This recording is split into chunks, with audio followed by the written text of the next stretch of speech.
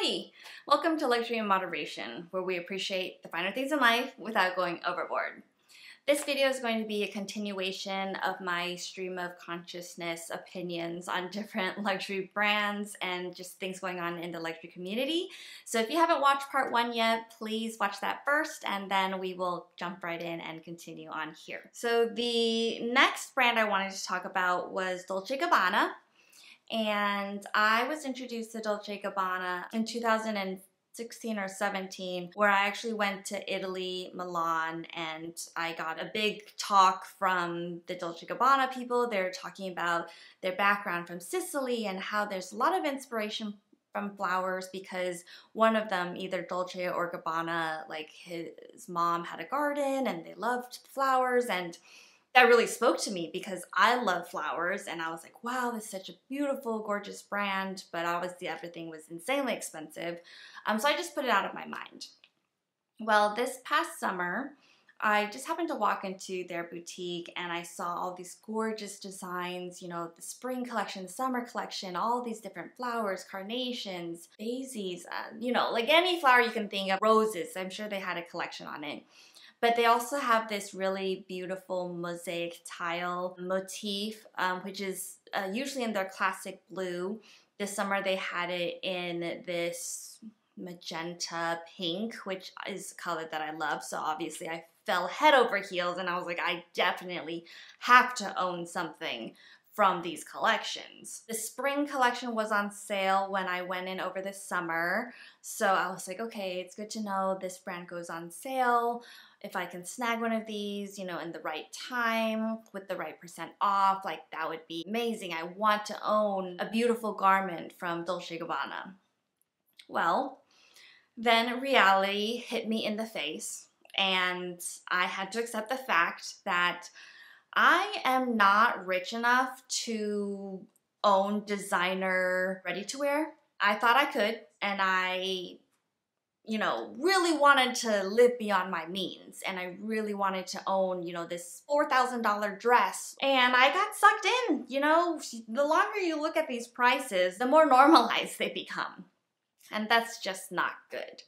So again, the reason why I'm sharing this is because I wanted to share my experience in case others might be in the same boat, if others might be experiencing similar things that you're seeing all these influencers and celebrities wearing these beautiful, gorgeous outfits, and you're like, oh, well, you know, I'm playing the luxury handbag game. Now, can I start playing the, you know, luxury ready to wear game? Some other people do have Dolce Gabbana tops, or, you know, you recognize that skirt from a, some other brand and you start thinking that hey maybe i could do that. You know i recognize those brands. I recognize those products. No they're in another league. They're in a league all by themselves where i feel like sure i could spend three four thousand dollars on this bag right here but i can use that bag multiple times a week.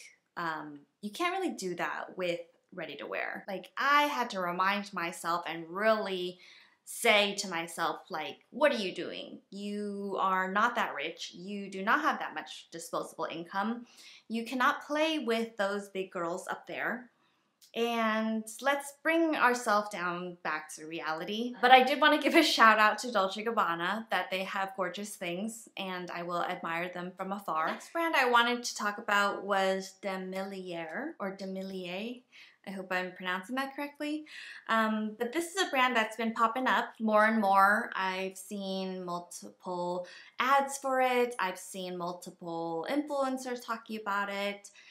And to tell you the truth, when I first saw my first ad for this one specific bag that they have, I was like, wow, I love that and it was you know their raffia with leather with black leather trim. And i was like wow like maybe i really need to learn what this brand is. Everyone's talking about it. What am i missing out on? And i was like you know maybe i should get this bag. It's much more affordable um, for this really elegant aesthetic. You know why don't i go for it? Well then i saw a very similar aesthetic with the Celine Triomphe bag, you know, in one of their color variations, which was again in their canvas with a leather trim. And I realized, uh, of course, that that was just the kind of aesthetic that I love no matter what brand does it.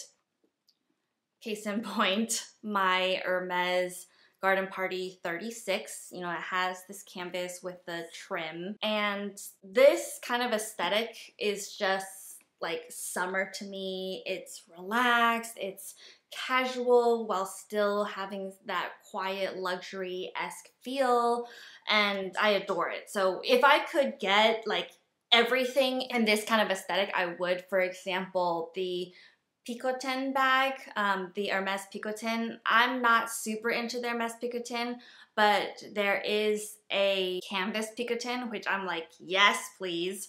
So I just know that it's, you know, anytime there's a canvas with the leather trim, I am going to love it. So that really wasn't a special DeMellier thing. It was just, you know, any brand can do this aesthetic when they feel like it. Even Longchamp now is coming out with this kind of aesthetic.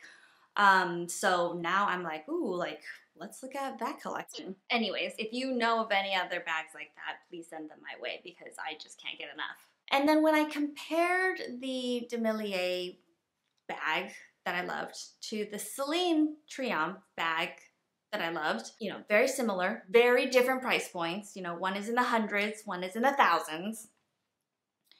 Myself personally, I told myself, why would I go for the DeMellier when I could go for the Celine? It's what, five, six times more expensive and I would have to save up longer for it.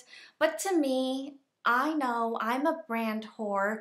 I would want the Celine brand. And plus I do love that Triomphe logo. I think it's very pretty. Like Minx for All here on YouTube, she says she's a magpie. I am as well. I like gold glittery things and I want the prestige of the Celine name. You know, uh, even though no one can tell, if you don't know that it's Celine, it doesn't say Celine anywhere on there, but if you know, you know, you know, I want that versus the DeMellier, which I'm sure the quality is, you know, just as good, honestly. You know, the leather's probably just as good. There's not that much leather on this bag. Um, the canvas is probably great and I probably wouldn't worry about it as much because it is a lower price point. But again, because it is a lower price point, it is more accessible and I want to feel like I have something that nobody else has. You know, that's who I am and I know that.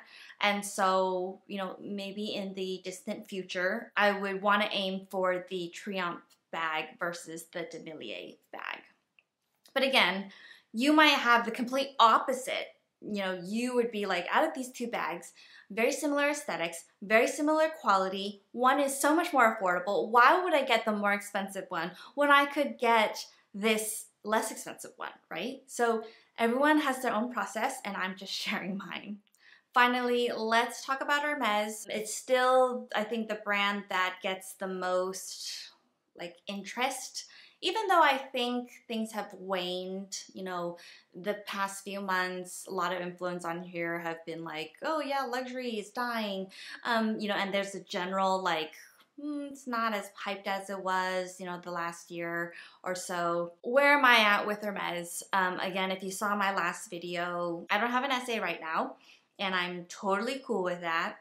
I am very, very satisfied with just using my four bags and I count it as my Kelly, my Birkin, my Garden Party 30, and this Kelly Pochette, even though it's not technically a bag, I use it as a bag. I'm going to be using my Garden Party 36 as a work bag, which I am very, very excited about. I think that it is luxury without screaming in the workplace, and it's elegant and grown up, but not too like serious. So I'm very excited about this. And of course, I know I am super, super lucky to have, you know, my core Hermes collection. Basically, I have the four core colors um, now, including the Etain color that I am so in love with. I do think I want a mini Lindy in a color, you know, since all of these four here uh, these four leather bags here are in a neutral. I want to have a Hermes bag in a rich color at some point, but I am not in a rush at all. And I think Purse on Fleek here on YouTube said something super true, which is Hermes bags really aren't workhorse bags. They're not like the only bags that you can have in your collection and they will fill all the spots. They're actually quite specialized. As a practical person, you can't just have Hermes bags in your collection because my everyday bag is the Pochette Métis. And that is like the workhorse. That is what is the easiest to use. The Kelly, uh, the crossbody strap is not as long. It's, you know, you could make it crossbody, but it's like sits really high.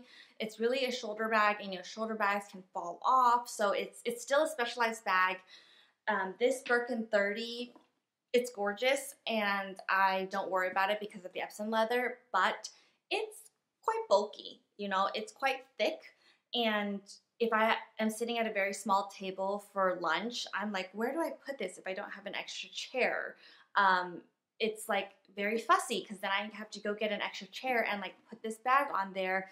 I can't just like sit it in front of my food. I can't like put it behind my chair because it, it's not like it's gonna squish down, you know? Even my Garden Party 30, which I think is my second easiest to use bag, um, after the Pochette Métis because I can just grab it, throw my things into the top and go and like it can carry a lot.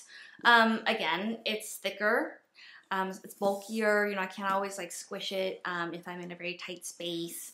Um, so it's just not as um, versatile. So I totally agree that they are just not ordinary people's workhorse bags. I'm still on my search for that perfect travel crossbody because I want to replace my Longchamp crossbody that I travel with right now.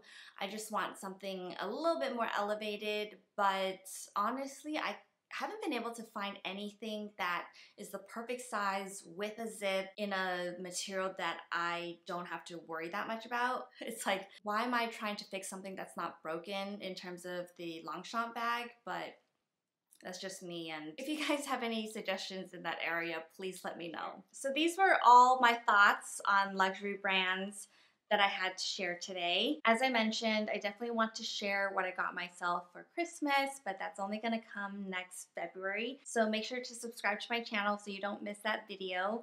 Uh, but other than that, I wish you all a wonderful holiday season. It's been a very interesting year for me and I hope these videos are helpful. If you have any other questions, please leave them down in the comments below as I would love to be a resource for you. And thank you so much for watching. I really appreciate your time and I hope to see you in the next one. Bye!